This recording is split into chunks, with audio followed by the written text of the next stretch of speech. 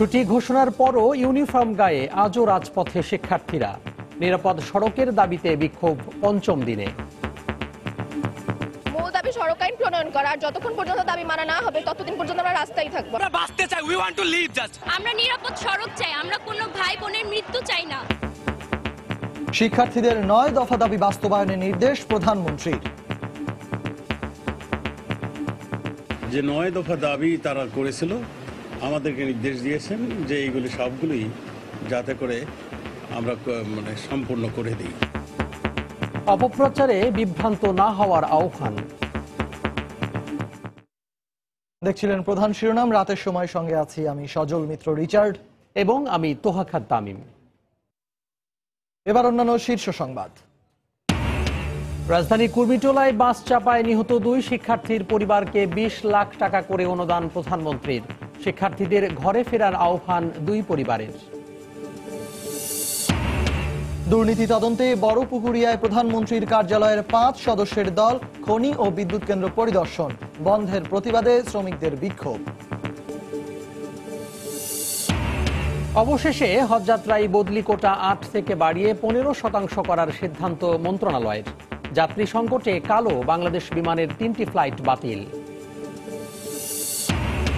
কুমিল্লার ধর্মসাগর দিঘিতে ডুবে দুই স্কুল ছাত্রের মৃত্যু নিখোঁজের তিন দিন পর কক্সবাজার সৈকত থেকে জাতিসংঘের কর্মকর্তার লাশ উদ্ধার। এবং সুদের হার কমে যাওয়ার শঙ্কায় বেড়েছে সঞ্চয়পত্র বিক্রি। বিত্তবানরাই ভোগ করছেন সুবিধা, বিনিয়োগ কাঠামো পরিবর্তনের পরামর্শ।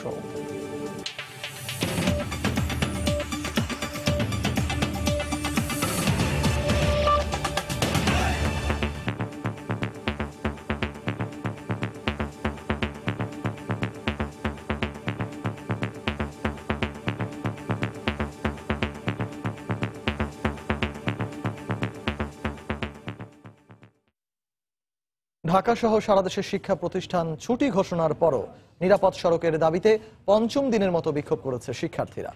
ব্যানার ফেস্টুন হাতে শিক্ষার্থীদের স্লোগানে মুখর হয়ে ওঠে রাজপথ।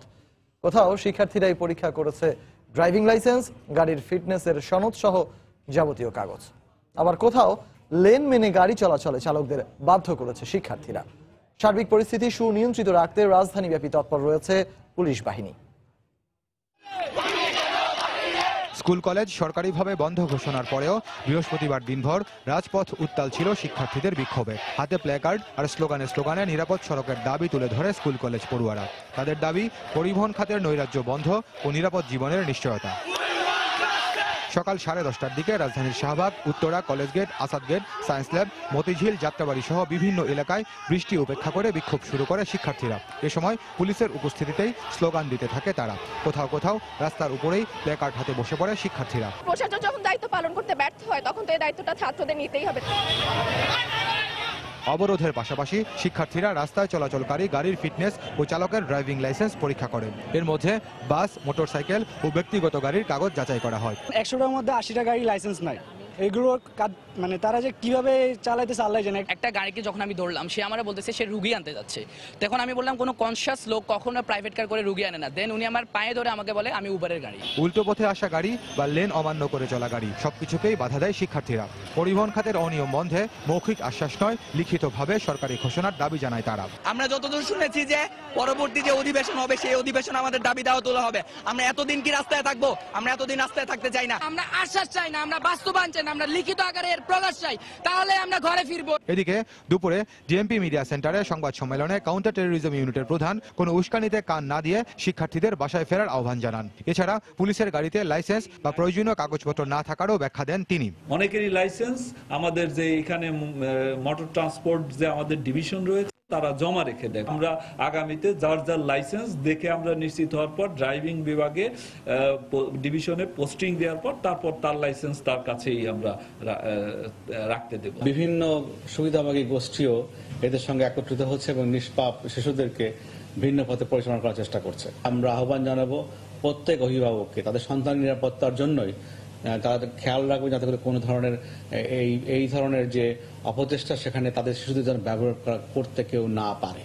ভাঙচুরের ভয় আর সঠিক কাগজপত্র না থাকায় অনেক গণপরিবহন রাস্তায় বের না হওয়ায় দুর্ভোগে পড়তে হয় সাধারণ মানুষকে। আমরা আসতেছি এখানে দুই ঘণ্টার পর সেখানে পাঁচ ঘণ্টা লাগছে। আগারগাঁও যাব কিন্তু যে পরিবহন সংকট চিন্তায় আছি কীভাবে যাব? দুর্ভোগ হচ্ছে কিন্তু ছাত্ররা যে কাজটা করছে এটার সাথে আমরা একমত। রোববার দুপুরে স্কুল থেকে ফেরার পথে চাপায় দুই শিক্ষার্থী আব্দুল করিম সজীব ও দিয়া খানম মিম নিহতের পর থেকেই আন্দোলন করছে শিক্ষার্থীরা। খান মোহাম্মদ রুমেল সময় সংবাদ ঢাকা। এদিকে ঢাকার মতো সারা দেশেও বিক্ষোভ করেছে শিক্ষার্থীরা। এ সময় নিরাপদ সড়কের দাবিতে স্লোগান দেয় তারা। ব্যুরো প্রতিবেদক ও জেলা প্রতিনিধিদের পাঠানো তথ্য ছবি নিয়ে রিপোর্ট। উত্তাল রাজশাহী। সাহেববাজার জিরো পয়েন্ট রাস্তায় অবস্থান নিয়ে সড়ক দুর্ঘটনায় প্রতিবাদ জানায় বিভিন্ন স্কুল কলেজের শিক্ষার্থীরা। নয় দফা দাবিতে স্লোগান দেয় তারা। আমরা নিরাপদ সড়ক চাই আমরা কোনো ভাই বোনের মৃত্যু চাই না। আমাদের দেশের পরিবহন ব্যবস্থা যেমন আমি যে বাসা থেকে বের হচ্ছি আমি যে বাসায় ফেরত যাব এর তো কোনো গ্যারান্টি দিতে পারছি না। বৃহস্পতিবার সকালে চট্টগ্রামের ওয়াসার মোড় প্রেস ক্লাব নিউ মার্কেট ও লালখান বাজার সহ বেশ কয়েকটি এলাকায় জড়ো হয় শিক্ষার্থীরা। এ সময় রাস্তায় চলাচলকারী বিভিন্ন যানবাহনের লাইসেন্স পরীক্ষা করে তারা। মহাসড়কে ফিটনেসবিহীন গাড়ি চলাচল বন্ধ না হওয়া পর্যন্ত রাজপথ ছাড়বে না বলে জানায় শিক্ষার্থীরা। আমরা বুঝি আমাদের বন্ধন হয়েছে আমরা অধিকার আদায় করা পর্যন্ত আন্দোলন চালিয়ে রংপুর নগরীর শাশ্বত বাংলা চত্বর থেকে বিক্ষোভ মিছিল নিয়ে ঢাকা রংপুর মহাসড়কে অবস্থান নেয় শিক্ষার্থীরা। এ সময় পুলিশ বাধা দিলে সেখানে অবস্থান নিয়ে বিক্ষোভ করে তারা। নিরাপদ সড়কের দাবিতে ময়মনসিংহ শহরে টাউন হল মোড়ে সড়ক অবরোধ করে স্কুল কলেজের হাজারো শিক্ষার্থী। এ সময় গাড়ির কাগজপত্র ও চালকের লাইসেন্স পরীক্ষা করে তারা। দাবি আদায় না হওয়া পর্যন্ত আন্দোলন চালিয়ে যাওয়ার হুঁশিয়ারি দেয় শিক্ষার্থীরা। বগুড়ার সাতমাথায় নয় দফা দাবিতে সড়কে অবস্থান নিয়ে বিক্ষোভ করে শিক্ষার্থীরা। তাদের সাথে একাত্মতা জানিয়ে এতে অংশ নেন অভিভাবকরাও। আজকে তারা শিকার হয়েছে অন্যদের হয়তো আমরাও হতে পারি। এজন্য আমরা নিরাপদ সড়ক চাচ্ছি আমাদের বাচ্চাদের জন্য ঘরে ফেরা নিরাপত্তা যাতে ওরা সুস্থভাবে ঘরে ফিরে স্কুল থেকে। এটা আমার চাওয়া। শিক্ষার্থীদের আন্দোলন ছড়িয়ে পড়েছে সিলেটেও। বিভিন্ন স্কুল কলেজের শিক্ষার্থীরা নগরীর জিন্দাবাজার থেকে চৌহাট্টা পর্যন্ত অবস্থান নিয়ে বিক্ষোভ করে। এ সময় দোষীদের দ্রুত আইনের আওতায় আনার দাবি জানায় তারা। এছাড়া সাভার, ব্রাহ্মণবাড়িয়া, নাটোর, বান্দরবান ও ফরিদপুর সহ দেশব্যাপী অবস্থান কর্মসূচি ও বিক্ষোভ করে শিক্ষার্থীরা। ফারিয়া ফারজানা, সময় সংবাদ। নিরাপদ সড়কের দাবিতে আন্দোলনরত শিক্ষার্থীদের নানা কর্মসূচির ছবি ভাইরাল হয়েছে সামাজিক যোগাযোগ মাধ্যমে। বিভিন্ন ধরনের পোস্ট দিয়ে তরুণদের উৎসাহ দিচ্ছেন সব শ্রেণি পেশার মানুষ। এদিকে সামাজিক যোগাযোগ মাধ্যম সহ কিছু নিউজ পোর্টাল প্রধানমন্ত্রীর নামে যে ভিত্তিহীন সংবাদ প্রকাশ করছে, তা দেখে বিভ্রান্ত না হতে প্রধানমন্ত্রীর কার্যালয় থেকে জানানো হয়েছে। রাজপথে আন্দোলনরত সন্তানের মুখে খাবার তুলে দিচ্ছেন মা। ঝাড়ু দিয়ে রাস্তা পরিষ্কার, লাইসেন্স চেক কিংবা সারিবদ্ধ রিক্সার দৃশ্য। সামাজিক যোগাযোগ মাধ্যমে এখন ভাইরাল এসব ছবি। বৈধ লাইসেন্স প্রদর্শন ছাড়া রক্ষা পাচ্ছেন না কেউই। শুধু ছবি নয়, ভাইরাল হচ্ছে এমন কার্যক্রমের ভিডিও।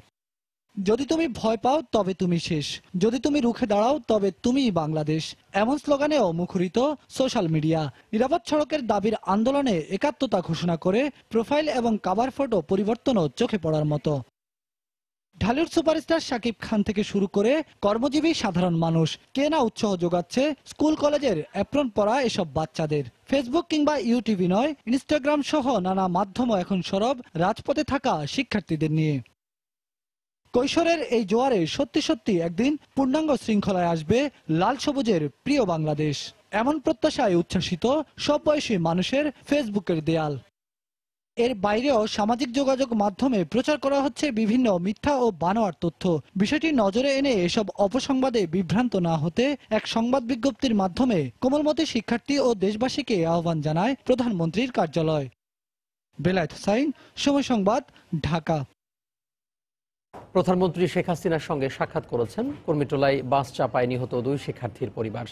প্রধানমন্ত্রী এই দুই পরিবারকে সান্ত্বনা দেন এবং প্রতি পরিবারকে বিশ লাখ টাকার পারিবারিক সঞ্চয়পত্রের অনুদান তুলে দেন।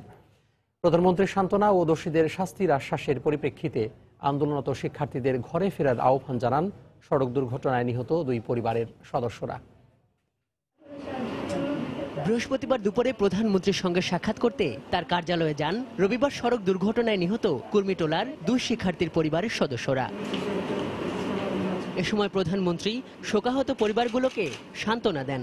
শিক্ষার্থীদের দাবি মেনে নেবার আশ্বাস দেন সরকার প্রধান। সাক্ষাৎ শেষে নিহত দিয়ার বাবা জানান, শহীদ রমিজউদ্দিন কলেজকে পাঁচটি বাস প্রদান ওই শিক্ষা প্রতিষ্ঠান সংলগ্ন বিমানবন্দর সড়কে আন্ডারপাস নির্মাণ, দেশের প্রতিটি শিক্ষা প্রতিষ্ঠান সংলগ্ন রাস্তায় স্পিড ব্রেকার নির্মাণ এবং স্কুল কলেজের জন্য বিশেষ ট্রাফিক পুলিশ নিয়োগ করার প্রতিশ্রুতি দিয়েছেন প্রধানমন্ত্রী। এ প্রেক্ষিতে আন্দোলনকারীদের ঘরে ফেরার আহ্বান জানান এই অভিভাবক। যে ছাত্রছাত্রীরা রাস্তায় আছে, তাদেরকে আমার একটাই অনুরোধ যে সন্তান, বাবা, তোমরা এই রাস্তায় যে বিভিন্ন ধরনের যেভাবে বৃষ্টিতে ভিজতে আসো, যেভাবে তোমরা কষ্ট করে রাস্তাঘাটে তোমরা এই যে মিছিল মিটিং করতে আসো, এখন সরকার তো আমাদের দাবি দেওয়া মেনে নিছে প্রধানমন্ত্রী, তার কার্যালয়ে আমরা আসছি, আমরা তার কাছ থেকে ভালো সান্ত্বনা পাইছি, সে আমাদের প্রতি ভালো খেয়ালও রাখতেছে তোমরা বাবারা, তোমাদের প্রতিও সে খুব অনুরোধ জানাইছে, তোমরা ঘরে যাও। প্রধানমন্ত্রী নিজের কথা স্বরাষ্ট্রমন্ত্রী সাহেব, সেও আমার বাসায় গেছে, আমাদের বাসায় গেছে। সেও বলছে, এটা কেউ চাপাই রাখতে হবে না, এটা বিচার হবে বাস দুর্ঘটনায় প্রতি পরিবারকে বিশ লাখ টাকা করে পারিবারিক সঞ্চয়পত্রের অনুদান তুলে দেন প্রধানমন্ত্রী। আজহার লিমন, সময় সংবাদ, ঢাকা। এদিকে নিরাপদ সড়কের দাবিতে আন্দোলনরত শিক্ষার্থীদের নয় দফা দাবি বাস্তবায়নের নির্দেশ দিয়েছেন প্রধানমন্ত্রী। রাতে স্বরাষ্ট্রমন্ত্রী আসাদুজ্জামান খান কামাল তার ধানমন্ডির বাসভবনে সংবাদ সম্মেলনে গণমাধ্যমকে নির্দেশনার বিষয়টি অবহিত করেন। এ সময় শিক্ষার্থীদের ক্লাসে ফিরে যাওয়ারও আহ্বান জানান তিনি। এই ঘটনায় সমস্ত দেশবাসী শোকাহত। মাননীয় প্রধানমন্ত্রী তাৎক্ষণিকভাবে তার সমবেদনা প্রকাশ করেছেন। প্রধানমন্ত্রী সঙ্গে সঙ্গে এও জানিয়েছেন যে নয় দফা দাবি তারা করেছিল। সেই দাবিগুলি সবগুলি যৌক্তিক এবং সবগুলি তিনি আমাদেরকে নির্দেশ দিয়েছেন যে এইগুলি সবগুলি যাতে করে আমরা মানে সম্পূর্ণ করে দিই। এর মধ্যে দুই একটি দাবি সময় লাগবে, যেমন ফুট ওভার ব্রিজ কিংবা আন্ডার পাস চেয়েছিল, সেটাও তিনি সেনাবাহিনীকে নির্দেশ দিয়ে দিয়েছেন। যেন সেনাবাহিনী সেটা সব শীঘ্রই এটা কাজ হাত দেয়। শিক্ষার্থীদের এই আন্দোলনে রাজনৈতিক কূটকৌশল জড়িয়ে পড়লে তা ভিন্ন খাতে যাওয়ার আশঙ্কা থাকতে পারে বলে মন্তব্য করেছেন আওয়ামী লীগের সাধারণ সম্পাদক ওবায়দুল কাদের। রাজধানীর একটি হোটেলে ঢাকা সাবওয়ে নির্মাণ প্রকল্পের চুক্তিসহ অনুষ্ঠান শেষে সাংবাদিকদের সঙ্গে কথা বলেন তিনি। স্বরাষ্ট্রমন্ত্রী প্রকাশ্যে বলেছেন নয়টি দাবি মেনে নিতে কোনো প্রকার সংকোচ বা দ্বিধা সরকারের পক্ষ থেকে নেই।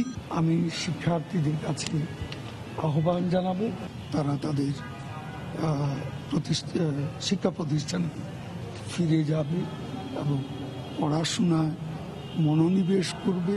সবকিছুই দ্রুততার সঙ্গে সম্পন্ন হবে, এ আশ্বাস আমি তাদেরকে দিচ্ছি রাতের সময় আরও থাকছে। ট্রেনে যাতায়াতে এখনও বিড়ম্বনায় পড়তে হয় প্রতিবন্ধী ও অসুস্থ রোগীদের। নেই পর্যাপ্ত হুইল চেয়ার কুলিদের দৌড়াতে গুনতে হয় বাড়তি টাকা।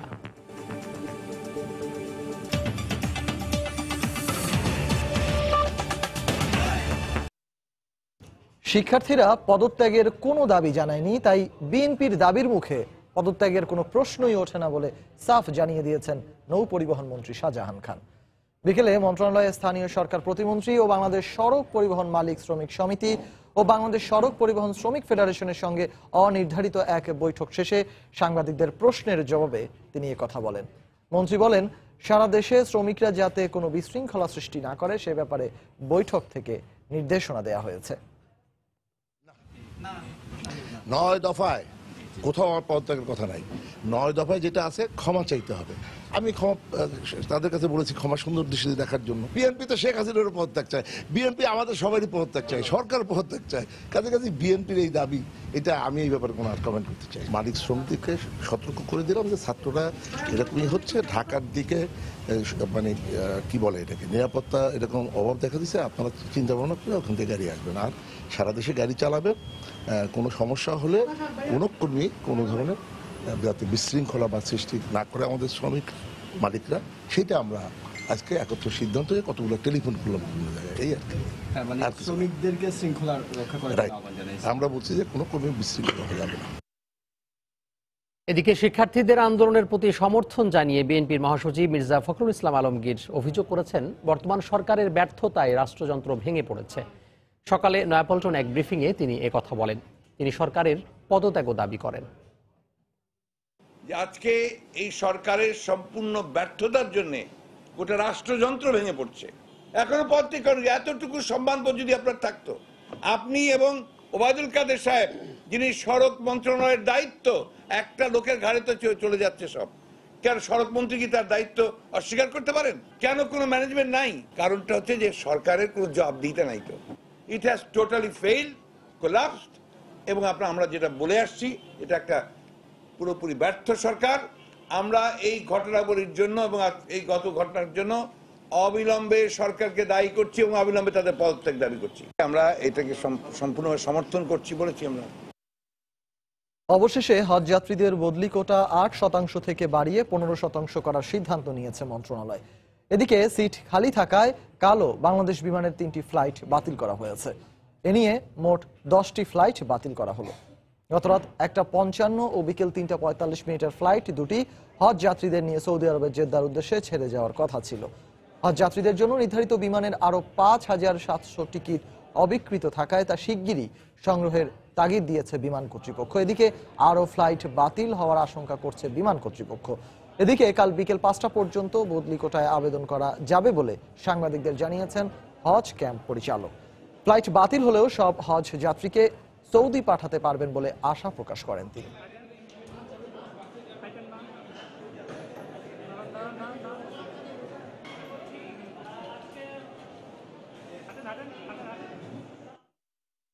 মন্ত্রণালয়ের পক্ষ থেকে নতুনভাবে আরও সাত পার্সেন্ট প্রতিস্থাপনের একটি আদেশ এসেছে। একই সাথে আমাদের এই কাজগুলো করে ফেলছি যাতে করে রিপ্লেসের কারণে প্রতিস্থাপনের কারণে কোনোভাবেই পথযাত্রা কারও ব্যাহত না হয়। যতটুকু আমাদের পর্যন্ত বাতিল হয়েছে, সে কারণে যে কোনো অসুবিধা হবে, এমনটি আমার আপাতত গত বছর অভিজ্ঞতা থেকে তা মনে হচ্ছে না। ইনশাল্লাহ যা আমাদের হাতে এখন স্লট আছে, তা দিয়েই আমাদের পুরো হজযাত্রী যেতে পারবে। দুর্নীতি ও অনিয়ম তদন্তে দিনাজপুরের বড়পুকুরিয়া কয়লা খনি ও তাপবিদ্যুৎ কেন্দ্র পরিদর্শন করেছেন প্রধানমন্ত্রী কার্যালয়ের পাঁচ সদস্যের কমিটি। সকালে প্রধানমন্ত্রী কার্যালয়ের মহাপরিচালক মোহাম্মদ খলিলুর রহমানের নেতৃত্বে তদন্ত কমিটির সদস্যরা কয়লা খনি প্রকল্প এলাকায় যান। এ সময় দায়িত্বরত কর্মকর্তাদের সঙ্গে কয়লা দুর্নীতির বিভিন্ন বিষয় নিয়ে কথা বলেন তারা। এরপর তাপবিদ্যুৎ কেন্দ্রে পরিদর্শন করেন তারা। কাল আবারও কয়লা খনি পরিদর্শনের কথা রয়েছে। তবে এ বিষয়ে তাদের কোনো বক্তব্য পাওয়া যায়নি। এদিকে দুপুরে তাপবিদ্যুৎ কেন্দ্র বন্ধের প্রতিবাদে এবং চাকরি স্থায়ীকরণের দাবিতে বিক্ষোভ করেন শ্রমিকরা। এ সময় কয়লা লোপাটের তদন্ত এবং তাপবিদ্যুৎ কেন্দ্র বন্ধের কারণ অনুসন্ধানের দাবি জানান তারা।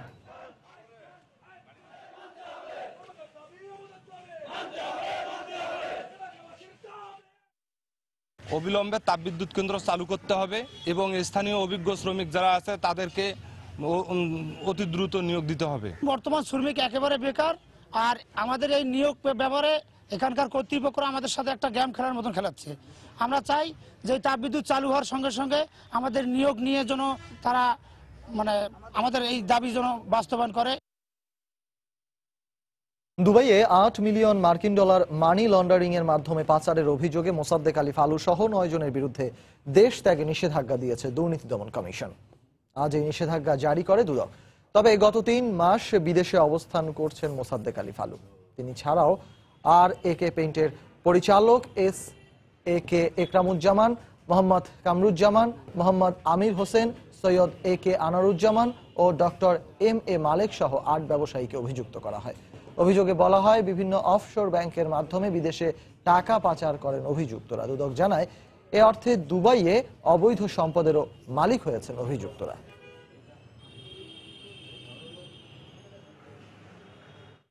রাতের সময় আরও থাকছে। আসামে নাগরিকত্ব হালনাগাদের বিষয়ে বাংলাদেশের উদ্বেগের কারণ নেই বললেন ভারতের হাই কমিশনার।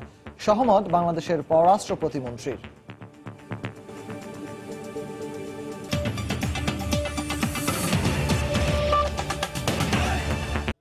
বন্ধুর জন্মদিন পালন করতে গিয়ে কুমিল্লার ধর্মসাগর দীঘিতে ডুবে দুই বন্ধুর মৃত্যু হয়েছে। নিহত শেহাব ও ফাহিম কুমিল্লা জিলা স্কুলের নবম শ্রেণির ছাত্র। মর্মান্তিকে মৃত্যুতে কান্নায় ভেঙে পড়েন স্বজন ও সহপাঠীরা। বাহরায়ানের পাঠানো তথ্য, ছবি নিয়ে দেখুন রিপোর্ট। একমাত্র ছেলেকে হারিয়ে কান্নায় ভেঙে পড়েন ফাহিমের বাবা মা। বৃহস্পতিবার বিকেলে কুমিল্লা জেলা স্কুলের নবম শ্রেণির কয়েকজন ছাত্র শহরের ধর্মসাগর দিঘির পাড়ে এক বন্ধুর জন্মদিন উদযাপন করতে যায়। এক পর্যায়ে ধর্মসাগর দিঘিতে গোসল করতে নামে সবাই। এ সময় শিহাব ও ফাহিম নামে দুই বন্ধু পানিতে ডুবে যায়। শিয়াব শিয়াবের এলাকার যার বন্ধুরা আছে তাদের সাথে ধর্মসাগর দিকে চলে গেছে গেটটা দিয়া দুজনেই পানিতে পড়ছে। আমার ছেলে সকালে বলছে আব্বা শিহাবের বার্থডে বার্থডে খেতে রানী কুটিরে তারা ইয়ে করছে। আমি আবু তাড়াতাড়ি আইসা বইর বারবার কাছে ঠিক আছে। খবর পেয়ে ফায়ার সার্ভিস কর্মীরা প্রায় আধা ঘণ্টা পর দিঘি থেকে দুইজনকে উদ্ধার করে কুমিল্লা মেডিকেল কলেজ হাসপাতালে পাঠায়। কর্তব্যরত চিকিৎসক তাদের মৃত ঘোষণা করেন। আমার ছোট ছেলে কুমিল্লা জিলা স্কুলে ক্লাস নাইনে সায়েন্সে পড়ে। সংবাদ পাইলাম আসলাম আসে শুনি যে অবস্থা কি মারা গেছে। ময়নাতদন্ত শেষে শিহাব ও ফাহিমের লাশ স্বজনদের কাছে হস্তান্তর করা হয়। সময় সংবাদ কুমিল্লা। নিখোঁজের তিন দিন পর কক্সবাজারের সমুদ্র সৈকত থেকে রোহিঙ্গা ক্যাম্পে নিয়োজিত জাতিসংঘের এক কর্মকর্তার লাশ উদ্ধার করেছে পুলিশ। এই ঘটনায় নিহতের সহকর্মী জাফরিন আফসারি ও তার স্বামীকে জিজ্ঞাসাবাদের জন্য থানায় নিয়েছে পুলিশ। দুপুরে মহেশখালীর সোনাদিয়া চ্যানেল থেকে তার লাশ উদ্ধার করা হয়। পুলিশ জানায়, গত একত্রিশে জুলাই রোহিঙ্গা ক্যাম্পে যাওয়ার জন্য হোটেল থেকে বের হন ইউএনএইচসিআর এর কর্মকর্তা ও ইথিওপিয়ার নাগরিক সলিমান মুলাটা। এরপর কোনো খোঁজ না পেয়ে তার সহকর্মীরা বিষয়টি পুলিশকে জানায়। দুপুরে সোনাদিয়া চ্যানেলে লাশ ভাসতে দেখে পুলিশে খবর দেন স্থানীয়রা। ঘটনাস্থলে পৌঁছে লাশ উদ্ধারের পর পকেটে থাকা পরিচয়পত্র দেখে তাকে শনাক্ত করে পুলিশ। পরে ময়নাতদন্তের জন্য মুলাটার লাশ সদর হাসপাতালের মর্গে পাঠানো হয়। এটি পরিকল্পিত হত্যাকাণ্ড কিনা তা খতিয়ে দেখা হচ্ছে বলেও জানিয়েছে পুলিশ। এখনও প্রতিবন্ধী বান্ধব হয়ে ওঠেনি দেশের রেল স্টেশনগুলো। প্রতিদিন ট্রেনে যাতায়াতের ক্ষেত্রে নানা ধরনের বিড়ম্বনায় পড়তে হয় তাদের। ভোগান্তি পোহাতে হয় অসুস্থ রোগীদেরও। স্টেশনে নেই পর্যাপ্ত হুইল চেয়ার আর যা আছে তাও কুলিদের দখলে। আবার হুইল চেয়ার ব্যবহারে গুনতে হচ্ছে নির্ধারিত মূল্যের চেয়ে কয়েক গুণ বেশি টাকা। একই অবস্থা যাত্রীদের মালামাল পরিবহনের জন্য রাখা ট্রলি নিয়েও। নাজমুল সালেহির রিপোর্ট। ক্র্যাচে ভর দিয়ে বহু কষ্টে ট্রেন থেকে নামলেন তাফসির হোসেন। প্ল্যাটফর্মে কোনো হুইল চেয়ার না পেয়ে খুঁড়িয়ে খুঁড়িয়েই প্ল্যাটফর্ম পার হচ্ছেন তিনি। জন্মগত শারীরিকভাবে অক্ষম মমিনুলেরও একই পরিণতি। ট্রেনে উঠতে আর নামতে প্রতিদিনই জীবনের ঝুঁকি নিতে হয় তাদের। হান্ড্রেড পার্সেন্ট ফিট এটা মানুষের চাইতে আমার ফিজিক্যাল যেহেতু প্রবলেম আছে স্বাভাবিক আমার একটু কষ্ট হয় উঠতে নামতে। নামার সময় মনে করেন ব্রেক করে যাত্রীরা নামে পরে আমি নামি। দাঁড়ানোর জায়গা পাই না। আর হুইল চেয়ার। অথচ প্রতিটি প্ল্যাটফর্মেই থাকার কথা ছিল একাধিক হুইল চেয়ার। কমলাপুর স্টেশন ঘুরে দেখা যায় পর্যাপ্ত চেয়ার তো নাই যা আছে তাও পড়ে আছে মালামাল বুকিং কক্ষের দরজার ওপাশে। ফলে অসুস্থ আর প্রতিবন্ধীদের ভোগান্তির শেষ নেই যেন। যাত্রীদের এমন অসহায়ত্বের সুযোগ নিয়ে মাত্র দশ টাকার হুইল চেয়ারের ভাড়া একশো থেকে তিনশো টাকা পর্যন্ত আদায় করে নিচ্ছে কুলিরা। আমি রিক্সা নিয়ে দাঁড়া করছি ওনার গাড়ি নিয়ে আসছে। ওনার বিল হচ্ছে একশো টাকা। একটা লোকে যদি একটা রুগী ধাক্কায় নেয় নিম্ন স্তরে কেউ দুশো আড়াইশো টাকা নেয় চার না কম লাগে না। একইভাবে যাত্রীদের মালামাল বহনের জন্য রাখা শতাধিক ট্রলির সবকটি কুলিদের দখলে যেগুলো থাকার কথা ছিল প্ল্যাটফর্মে যাতে যাত্রীরা নিজেদের মালামাল নির্দিষ্ট দূরত্বে নিজেরাই বহন করতে পারে কিন্তু বাস্তবতা ভিন্ন। আমার কাছে মনে করেন যে একটা আছে। মনে করেন যে আমি স্টেশনের সরকারি লেবার যা দুই একটা যা আছে তাও তারা চাচ্ছে অনেক বেশি। যেটা অনেক বেশি যেটা তিন চারশো টাকা চাচ্ছে তারা। দুশো টাকা চাওয়ার পরে আমরা দেড়শো টাকা দিয়ে কথাবার্তা বলে পরে ভিতরে খুব ভালোভাবে আসছি। পরে একশো টাকা কইছে পরে দেড়শো টাকা করে নিয়ে আসি রেলওয়ের বেঁধে দেওয়া মালামাল বহনের এই মূল্য তালিকার বাইরে দশ থেকে বিশ শতাংশ বেশি আদায় করা হচ্ছে কমলাপুর রেল স্টেশনে। এ সকল ব্যাপারে কার্যকরী উদ্যোগ নেওয়ার কথা জানাচ্ছে কর্তৃপক্ষ। ইচ্ছাগুলি নিজে ব্যবহার করতে পারবে আবার এনে ফেরত দিবে। আর যদি লেবার দিয়ে ব্যবহার করতে পারে সেটাও করতে পারবে। টাকা দাবি যদি আদায় করার চেষ্টা করে অবশ্যই তার বিরুদ্ধে ব্যবস্থা নেওয়া হবে। যে লেবার করবে ওই লেবারের চাকরি থাকবে না স্টেশনে চাকরি থাকার কথা না। যাত্রা নির্বিঘ্ন করতে স্টেশনে প্রশাসনিক নজরদারি বাড়ানোর তাগিদ রেলপথ যাত্রীদের। নাজমুসালিহি সময় সংবাদ ঢাকা। সুদের হার কমে যাওয়ার শঙ্কায় সঞ্চয়পত্র বিক্রি আগের তুলনায় অনেকটা বেড়েছে। তবে বিনিয়োগের সুযোগে বিত্তবানরাই সঞ্চয়পত্রের সুবিধা বেশি ভোগ করছে বলে মনে করেন অর্থনীতিবিদরা। তাদের মতে, সুদের হার সবার জন্য না কমিয়ে বিনিয়োগ কাঠামোর পরিবর্তন দরকার। আর সঞ্চয় অধিদপ্তর বলছে এখাতে খাতে বিনিয়োগে অনিয়ম বন্ধে ভবিষ্যতে অনলাইনে গ্রাহকদের তথ্য পর্যালোচনার পরিকল্পনা রয়েছে। হরিপদ সাহা রিপোর্ট।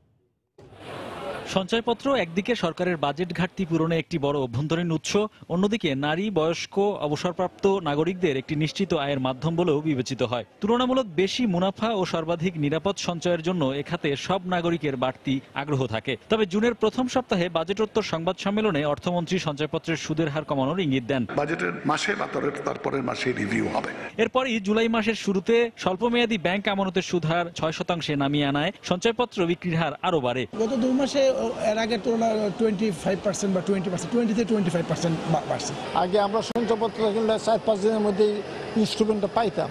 এখন দুই মাস লাগে। কারণটা কি? কারণটা হলো পাবলিক বেশি হারে কিনতেছে। তিন মাস পর পর আমরা যে টাকাটা পাই পেনশন আর সঞ্চয়পত্র থেকে আমার সংসার ভালো রকম চলে। শুধু আয়ের শেষ ভরসা হিসেবে মানুষ সঞ্চয়পত্রে বিনিয়োগ করেন তা নয় অনেক বিত্তবানরাও আর্থিক খাতের অন্যান্য প্রতিষ্ঠানের তুলনায় প্রায় দ্বিগুণ মুনাফা পেতে সঞ্চয়পত্রে বিনিয়োগ করছেন বলে মনে করেন সাধারণ গ্রাহকরা। কোটি কোটি টাকার মালিক তারা এখন যখন শুনছে ব্যাংক ইন্টারেস্ট কমানো হবে তখন দেখা যায় অনেক আইসা এখানে সঞ্চয়পত্রের উপরে ঝুঁকে পড়ছে। যখন আইন করা হবে যে এর লিমিটেশন এত এত এত এত তাহলে তো আর করা পারবে না। সঞ্চয়পত্র কিনতে আয়ের উৎস জানানোর বাধ্যবাধকতা নেই তাই উচ্চবিত্তরা এখাতের সুবিধা বেশি নিচ্ছে বলে মনে করেন অর্থনীতিবিদরাও। ঢালাভাবে সঞ্চয়পত্রের সুদের হার কমানো উচিত নয় বরং যাদের জন্য এই সঞ্চয়পত্র আসলে মূল টার্গেটেড অবসরে যারা গেছেন তাদের জন্য গৃহবধূ যারা আছেন যাদের ডাইরেক্ট ইনকাম নাই তাদের জন্য সেইখানে কিছু মনিটরিং মেকানিজম করা উচিত যাতে তারাই আসলে সঞ্চয়পত্র বেশি মাত্রায় কিনতে পারেন আর অন্যদের ক্ষেত্রে সুদের হারটা ভিন্ন হওয়া উচিত। সঞ্চয়পত্র অধিদপ্তরের শীর্ষ কর্মকর্তার সাথে কথা বলেও জানা গেল এখাতে কোনো ব্যক্তির বিনিয়োগ সীমা লঙ্ঘন রোধে কার্যকর কোনো ব্যবস্থা নেই। লিংক হবে বাংলাদেশ ব্যাংক এবং ডাকঘরের সঙ্গে। তখন কিন্তু ওই যে ন্যাশনাল আইডি ইউজ করব অটোমেশনের জন্য। ক্লিক করলে কিন্তু সাথে সাথে চলে আসবে যে এই নামধারী অথবা এই আইডিধারী ন্যাশনাল আইডিধারী লোক তার অলরেডি তিরিশ লাখ হয়ে গেছে সে আর কিনতে পারবে না। সেক্ষেত্রে আমাদের চেক দেওয়া সম্ভব হবে। চলতি বছরের জুন মাস পর্যন্ত সঞ্চয়পত্র খাতে সরকারের মোট দায় দাঁড়িয়েছে দুই লাখ উনচল্লিশ হাজার তিনশো আটাশ কোটি টাকা। হরিপদ সাহা সময় সংবাদ ঢাকা। সামনে কোরবানির ঈদ কিন্তু ব্যস্ততা নেই টাঙ্গাইলের দেলদুয়ার উপজেলার পাথরাইল তাঁতপল্লীতে। কাজ না থাকায় বেশিরভাগ শ্রমিকই অলস সময় পার করছেন। তাঁত মালিকরা বলছেন, শাড়ি তৈরির প্রয়োজনীয় উপকরণের দাম বাড়ায় লাভ হচ্ছে না। এই ঈদে শাড়ির চাহিদা না থাকলেও সামনে দুর্গাপূজায় চাহিদা বাড়বে বলে আশা করছেন ব্যবসায়ী সমিতির নেতারা। টাঙ্গাইল থেকে কাল- কাদির তালুকদারের পাঠানো তথ্য ও ছবি নিয়ে রিপোর্ট। উৎসব মানেই নতুন কাপড়। আর যে কোনো উৎসবেই নারীদের পোশাকের তালিকায় থাকে টাঙ্গাইল শাড়ি। তাই ব্যবসায়ীরাও ক্রেতাদের পছন্দের চাহিদা মেটাতে প্রতি বছরই নানা রং আর বাহারি ডিজাইনের শাড়ি তৈরি করে থাকেন। কিন্তু ঈদুল ফিতরের তুলনায় কোরবানির ঈদে শাড়ির চাহিদা কম থাকে ফলে তাঁতপল্লীর বেশিরভাগ শ্রমিকের কাজ না থাকায় অলস সময় পার করতে হচ্ছে। একদিকে শ্রমিকরা কাজ করতে পারছেন না অন্যদিকে লাগাতার বৃষ্টি ও বিভিন্ন জেলায় বন্যার কারণে তৈরি শাড়িও বিক্রি করতে পারছেন না। কোরবানি যে সামনে যে ঈদ আমরা যে চাপে থাকব সেই চাপে আমরা নাই। মহাজন যদি কাজ ঠিক মতো দিত তাহলে আমাদের চাহিদা থাকতো আমাদের আমোদ ফুর্তির কাজ করতাম। এরকম ভাবে যদি চলতে থাকে তাহলে আমাদের এক সময় হয়তো দেখা যাবে যে অনেক প্রবলেম হবে। তাঁত মালিকরা বলছেন, শাড়ি তৈরির প্রয়োজনীয় উপকরণের মূল্য বৃদ্ধি উৎপাদনের তুলনায় ক্রেতা কম থাকায় লোকসানে কাপড় বিক্রি করে শ্রমিকদের মজুরি পরিশোধ করতে হচ্ছে। যে কারণে নতুন কাপড় তৈরি করা সম্ভব হচ্ছে না। সুতার দাম বেশি কেমিক্যালের দাম বেশি, শ্রমিক মজুরি বেশি সেই হিসাবে আমাদের মানে বিক্রি হইতেছে না। আমরা খুব লসের মধ্যে আছি। আমরা শ্রমিক বিল দিতে পারি না শ্রমিকরা হাহা করে। বৃষ্টির জন্য আমাদের পড়াশোনা কম এবছর বিক্রিও কম। তবে কোরবানির ঈদে শাড়ির চাহিদা না থাকলেও সামনে দুর্গাপূজায় শাড়ির চাহিদা বাড়বে বলে আশা করছেন করটিয়া হাটের শাড়ি ব্যবসায়ী সমিতির সভাপতি।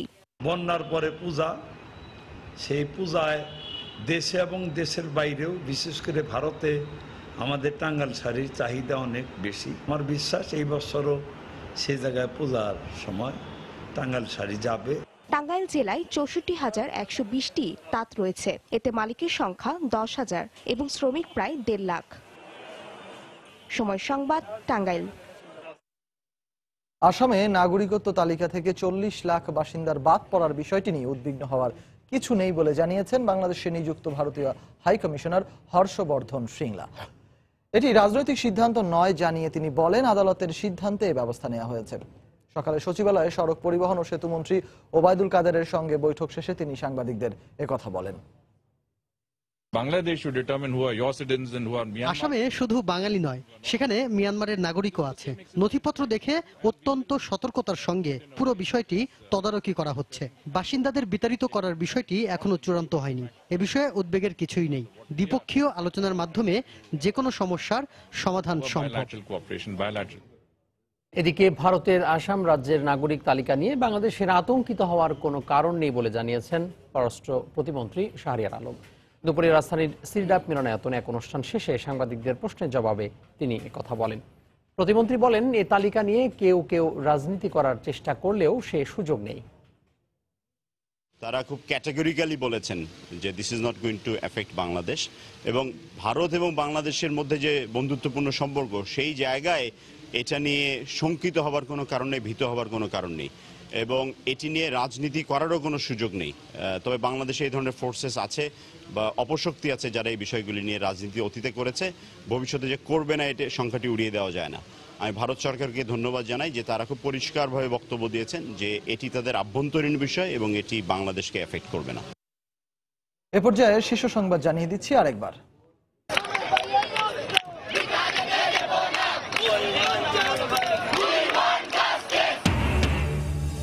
ছুটি ঘোষণার পরও ইউনিফর্ম গায়ে আজও রাজপথে শিক্ষার্থীদের বিক্ষোভ।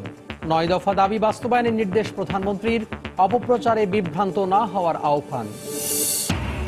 কুর্মিটোলায় বাস চাপায় নিহত দুই শিক্ষার্থীর পরিবারকে বিশ লাখ টাকা করে অনুদান প্রধানমন্ত্রীর। শিক্ষার্থীদের ঘরে ফেরার আহ্বান দুই পরিবারের।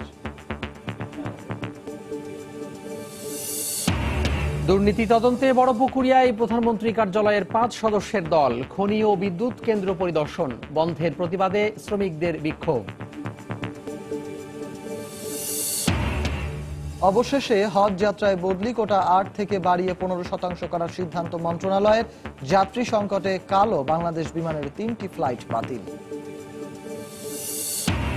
এবং কুমিল্লার ধর্মসাগর দিঘিতে ডুবে দুই স্কুল ছাত্রের মৃত্যু। নিখোঁজের তিন দিন পর কক্সবাজার সৈকত থেকে জাতিসংঘের কর্মকর্তা লাশ উদ্ধার।